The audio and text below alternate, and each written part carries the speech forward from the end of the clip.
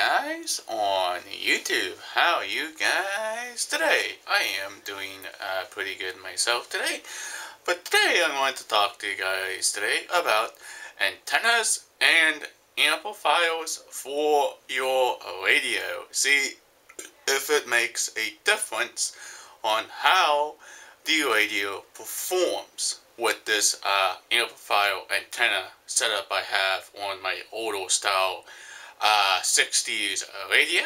It seems to work pretty good, but I'm not 100% sure if I'm going to get all of my stations. Now, I do have some antennas or not amplified or not being used on the amplifier at all, like my homemade antenna made uh, a antenna that's not amplified, but you can actually buy an antenna and it has the amplifier built into it. Or if you don't want the amplifier, you can just use a low order antenna. It's not amplified. But I think it's going to work uh, pretty good and see if it will work and see if I get more of my stations. But I'm not making any promises here, guys. I don't think it's going to really work that good. But I do have a very good idea on what I want to actually purchase and buy and see if I can use a very good style antenna or a very cheap antenna. If you guys recommend on different style antennas and that's fine. You can use whatever antenna you guys want to use. Indoor or outdoor antennas will be absolutely perfect for this experiment. Alright let's go ahead turn you guys on and show you what I'm doing. Here is my old receiver. You guys noticed this in the past before. This receiver has been with me for a while now. I've been using it very rapidly and every single day it seems to tune absolutely perfect. And we have the setup right here. This is a uh, Philips style antenna this is not a amplified antenna, by the way.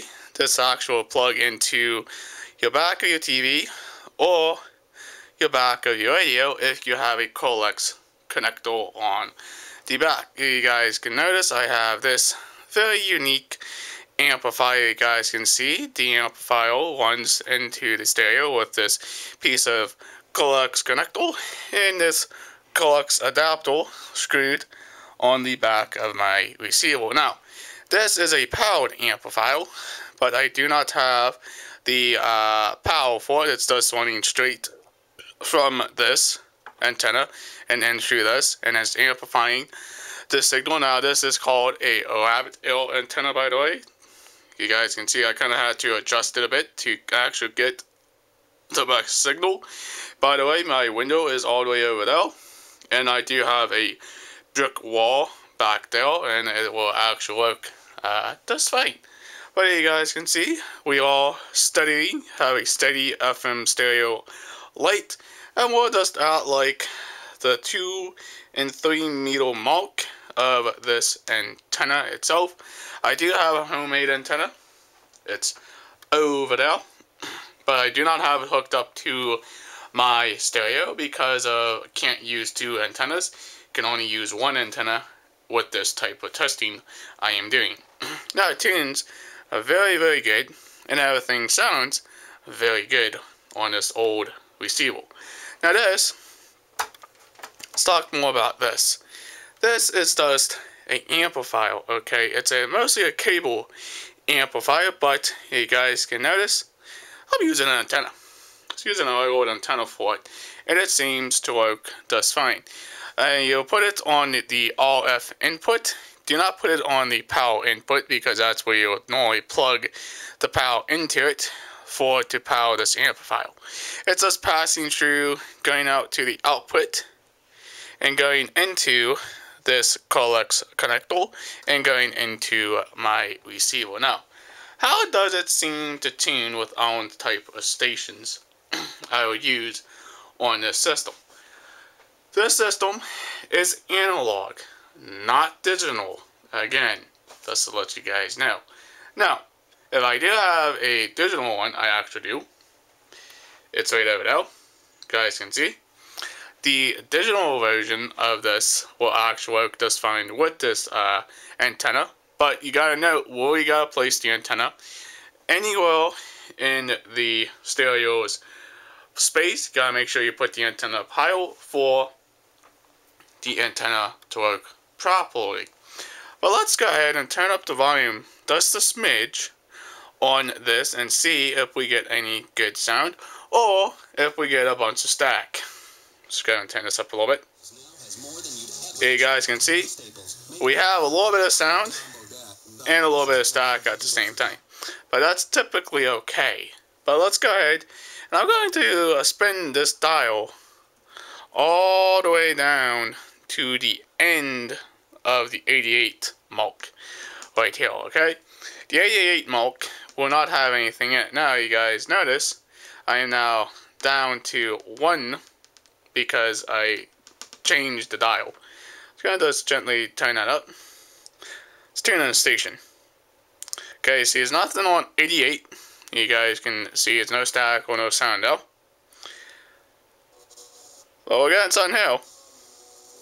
But it's very faint. You really can barely hear it. It's very staticky and very faint. But it does work. Very good. I may not get all my stations, but I can actually get certain stations on my radio. Now, you notice it was flickering a bit? The flickering means it's the station is somewhat strong or somewhat in the weak zone of where the antenna is actually placed on my speaker itself.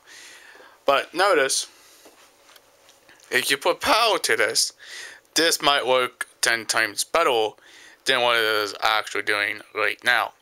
But it really uh, seems to work uh, very good. I really love the way these antennas are designed. By the way, this antenna here is not a amplified antenna. Okay? I just hooked it up to the amplifier to see if I can actually get a better signal strength on my radio. Let's go ahead and tune in another station. There we can get actually a good signal. You guys can see. The signal bar right here went up to 3. And we got a very steady uh, signal. And it seems to work very, very good. And everything seems to work just fine.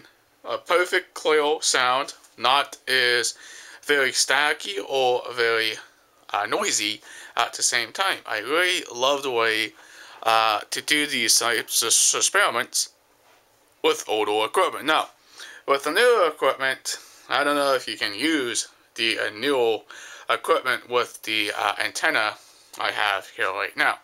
Now, the biggest problem with this radio itself is the types of limited uh, connector space on the radio itself.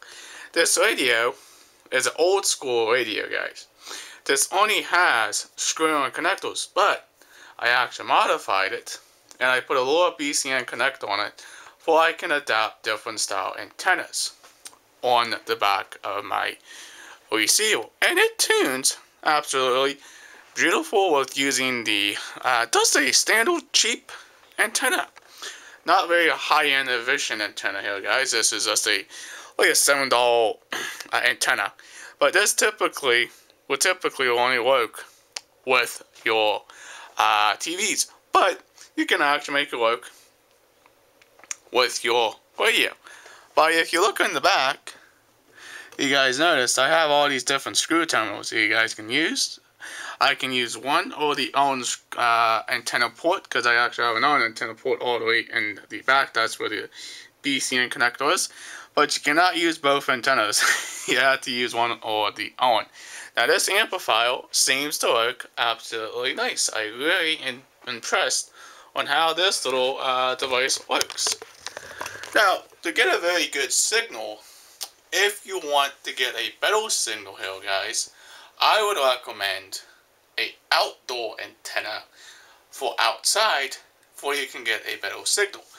Now, because I live in a brick house, again, the radio is going to have some issues picking up certain stations or mostly far away from the receiver itself. Now, this does not transmit any type of signal. It receives signal in it from radio waves in the sky and the air out out in the Mother Nature area kind of thing. But it seems to work very well with the amplifier. I'm very impressed. And yes, the amplifier is a pretty old amplifier. I got it a long time ago. I had it a very long time. But it does seem to work very beautiful for this uh, system. Now, if I choose a different antenna, now, you have antennas can be amplified, and you have some antennas are not amplified. What's the difference?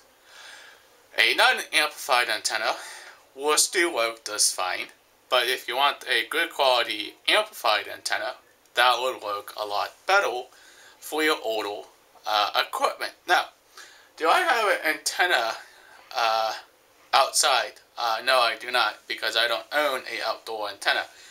The only antennas I've been using for years with this old radio was typically all copper electrical wiring. A stranded copper, 14 gauge copper wire. That's what I use for the antenna. But the homemade antenna works the same way. Because it's stuck on my window over there, you guys can see. And it just routes around my closet door and it goes in the back of my radio.